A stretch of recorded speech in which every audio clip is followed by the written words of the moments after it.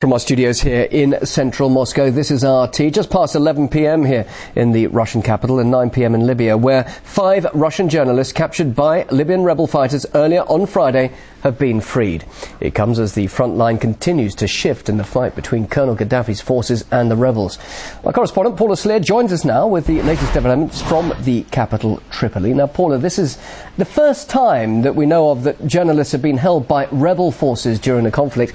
Is there any indication as to why they decided to do this? Well, it certainly seems, as more and more details become available, that there was some confusion on the ground. As you say, five Russian journalists, two of them print journalists with a leading Russian newspaper, and three working for a Russian television network. They have been released. They are back in their hotel in the rebel town of Benghazi, safe and sound.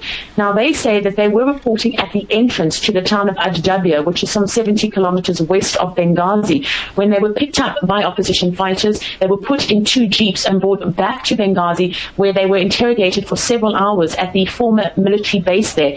They say that the one question that they were constantly asked is why were they heading to the southern side?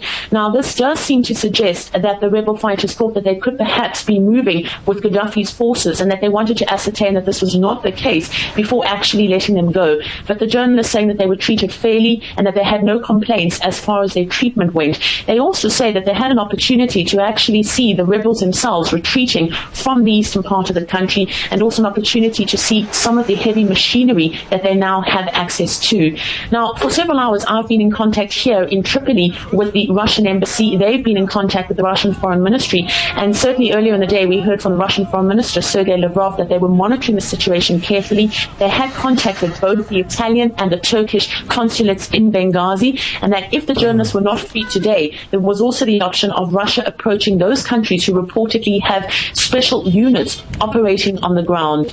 The situation did raise eyebrows around the country because, as you say, this was the first time that journalists have actually been taken by opposition forces.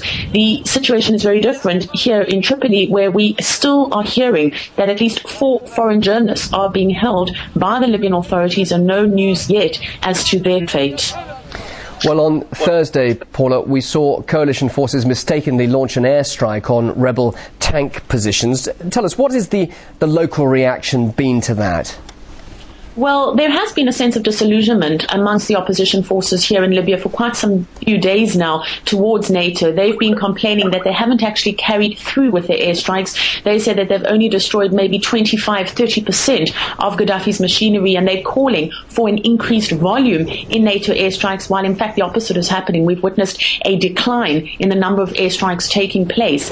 But now with this latest airstrike that has gone horribly wrong, the second NATO airstrike in two weeks, to mistake rebel fighters for Gaddafi forces. This latest airstrike killing some five rebel fighters and wounding some 22. This has changed the mood from disillusionment to anger. And we're hearing more and more anger being expressed from the opposition forces here towards those coalition forces.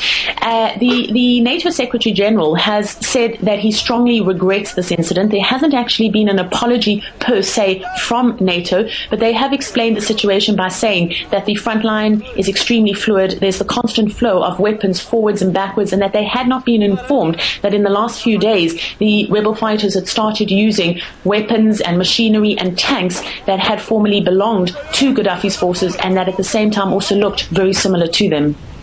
Paula, thanks very much indeed for that live update there in Tripoli.